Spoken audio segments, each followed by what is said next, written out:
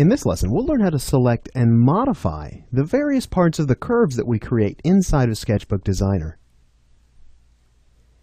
All right, great. So um, in the last lesson, I showed you kind of a typical workflow for drawing uh, vector line work here inside of Sketchbook Designer, and I've gone ahead and done a little bit more of that. So if you want to open up the Lesson 7 Begin file, you'll be able to pull up this file exactly where it is right here.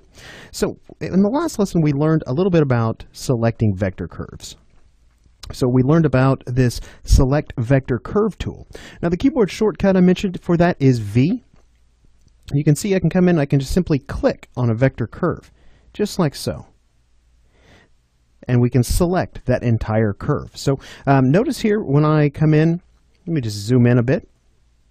We'll select well, let's select these three curves right here. I'll just drag a marquee selection around those. Notice that when I use this Select Vector Curve tool, it doesn't care where each curve starts and ends. It's selecting the entire curve that I drug that selection over. You can see here there are six total control points or grips currently selected on three different curves.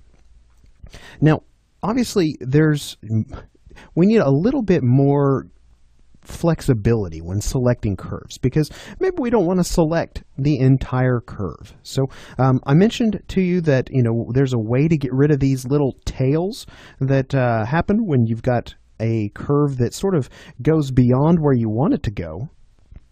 And that's going to be this particular selection mode right here. This is called the Select Curve Segment Tails tool. So um, in, with this tool, I can come in and I can select just the curve segments and the tails uh, that they're creating. So um, you can see here by dragging this selection over those same three particular curves, we're only selecting what Sketchbook Designer sees as a tail.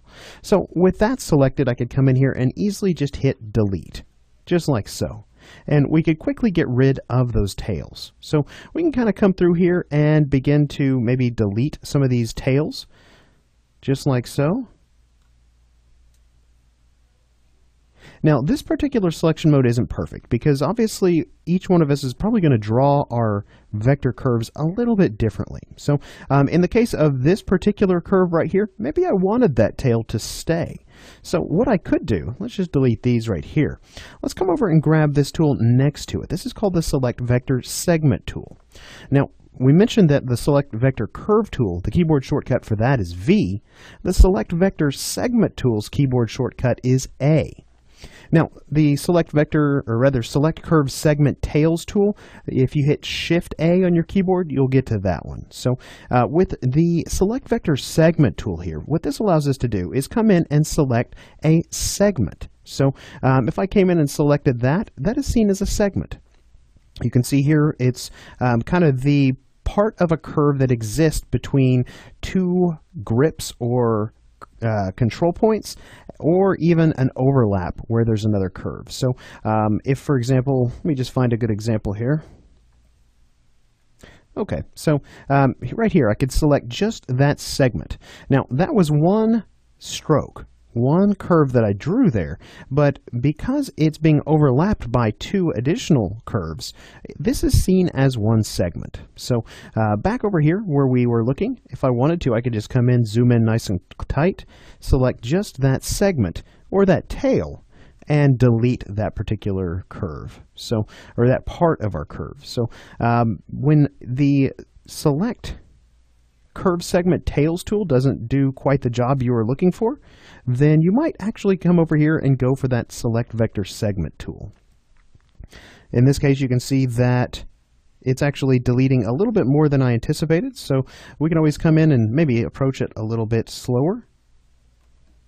Now you can see here, if I didn't want this particular segment, um, I can no longer select that as a tail. So um, you can see in this case, it's not selecting that as a tail at all. So like I said, this isn't a, a perfect selection mode. You still need to be able to come in here and select the segments themselves. And in this case, it was actually deleting a little bit more than I wanted.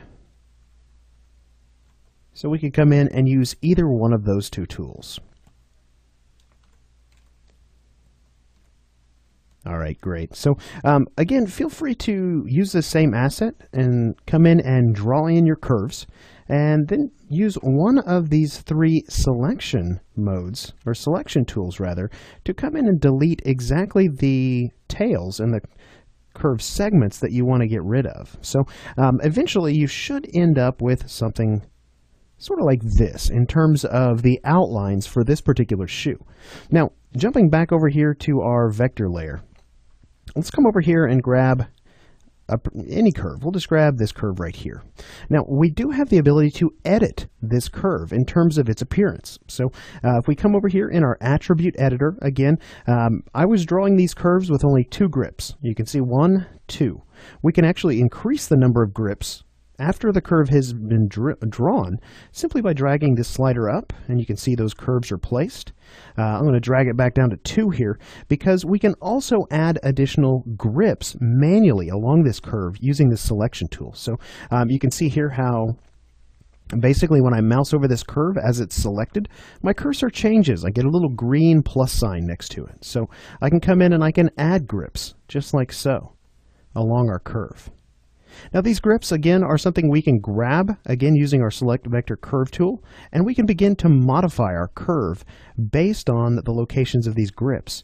Now you'll see here the grip sort of pins it down on either side, but um, if we flex this curve too much, you can see that there is a little bit of uh, uh, a, an effect on the remainder of the segments around. So um, not so much down here, but on these two segments here, if we stretch this too much, you're going to start to see those move. So let me undo back a few times here, and we'll just get rid of these additional grips we just added. Now, when I was, again, drawing these curves, I was doing it with our pen brush, our pen tool. We can actually come in here and change the brush after the, after the fact, after the curve's been drawn. So I can come in here and I can switch that. Maybe we want to use a marker instead. We can just simply come over and change that to marker set it to whichever marker we want, set the intensity, set the size even. That's a little bit large whatever we want to do after the fact. We can come in and select each individual curve and begin to sort of manipulate the stroke that's being applied to it. We can even come in and adjust the color right here with this little uh, this little button right here. So um, I'm going to actually switch that back over to our pen, see if we can't get it to match up with the rest of the strokes. All right, that's pretty close. Now again, this uh, stroke is visible, and we can always come in if we decide we don't want there to be a stroke along this particular curve. Maybe we've come in and we've added sort of a vector fill to this particular closed shape right here. And now we no longer want these curves that close that shape off to have a stroke color. We can come in and simply just click on this box right here, just like we learned in the previous lesson, and turn the stroke off just like so. All right, great. So let me come in here and turn that stroke back on. I'm going to hold shift and add to my selection here. Uh, and we'll just click on that box again to bring our stroke right back. All right, great. So in this lesson, we've learned how to select not only the entire curve we draw, but even down to the individual parts of those curves. We've also learned how we can modify the stroke on a curve after we've already drawn it. All right, great. Let's go ahead at this point. We're going to move on to the next lesson, and we're going to learn how we can edit these vector curves that we've drawn with a completely new set of tools that we haven't looked at yet. So we'll pick up where we're leaving off here in the next lesson.